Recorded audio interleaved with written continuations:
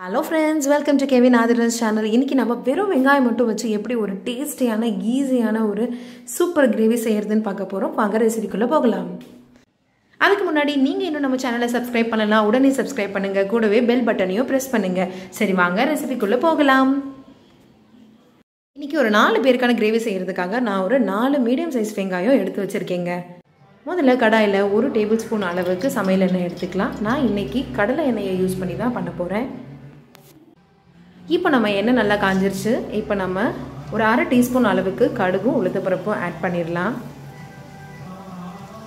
கடுகு நல்லா வெடித்த உடனே இப்போ நம்ம கருவேப்பிலை தலை கொஞ்சம் வச்சுருக்கேன். அதையும் சேர்த்துக்கலாம். ஸோ கருவேப்பிலை நல்லா வெடிச்சிருச்சு. இப்போ நம்ம வந்து எடுத்து வச்சுருந்த வெங்காயத்தை நீள நீளமாக நறுக்கி வச்சுருக்கேன். ஸோ அதையும் சேர்த்துக்கலாம். இப்போ கொஞ்சம் கிளறி விட்டுருங்க. வெங்காயம் ரொம்ப வதங்கணும்னு அவசியம் இல்லைங்க. இதில் வந்து இப்போ ஒரு அரை டீஸ்பூன் அளவுக்கு மஞ்சள் தூள் சேர்த்துக்கலாம். அப்புறம் தேவையான அளவுக்கு உப்பு சேர்த்துக்கோங்க. அதுக்கப்புறம் ஒன்றரை டேபிள் ஸ்பூன் அளவுக்கு குழம்பு மசாலா சேர்த்துக்கலாம். இந்த குழம்பு மசாலாவில் வந்து நாங்கள் எங்கள் வீட்டில் அரைச்ச குழம்பு மசாலா தான் போடுறோம். ஏன்னா எல்லா குழம்புக்குமே இந்த ஒரே மசாலா தான் யூஸ் பண்ணுறோம் நீங்கள் வந்து தனியா மிளகாய் ஜீரகம் இதெல்லாம் போட்டு அரைச்சி ஒரு மசாலா வச்சுருந்தீங்கன்னா அதை நீங்கள் சேர்த்துக்கலாம். மசாலா சேர்த்த உடனே இப்போ நல்லா வதக்கி விட்டுக்கோங்க. இப்போ ஃப்ளேம் நல்லா கம்மி பண்ணி வச்சுக்கோங்க. ஏன்னா மசாலா அடி பிடிச்சிடக்கூடாது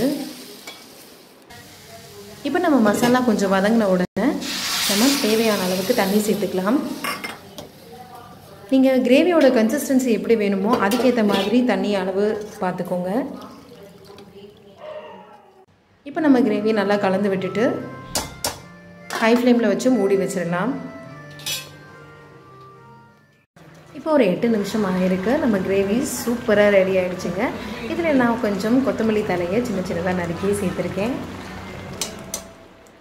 நம்மளோட சூப்பரான சுவையான ஒரு ஈஸியான ஆனியன் கிரேவி ரெடி ஆகிடுச்சு கிரேவி சப்பாத்தி பூரிக்கு சைட் டிஷ்ஷாக சாப்பிட்டீங்கன்னா சூப்பராக இருக்குங்க. இது வந்து ஒன் ஆஃப் த ஃபேவரட் எங்களோட ஃபேமிலிக்கு ஸோ நீங்களும் ட்ரை பண்ணி பாருங்கள் உங்கள் ஃபீட்பேக்கை ஷேர் பண்ணுங்கள் இந்த ரெசிபி உங்களுக்கு பிடிச்சிருந்தா கண்டிப்பாக லைக் பண்ணுங்கள் உங்கள் ஃப்ரெண்ட்ஸோட ஷேர் பண்ணுங்கள் அண்ட் நம்ம சேனலுக்கு சப்ஸ்கிரைப் பண்ண மறந்துடாதீங்க. நம் ஆரோக்கியம் நம் கையில்.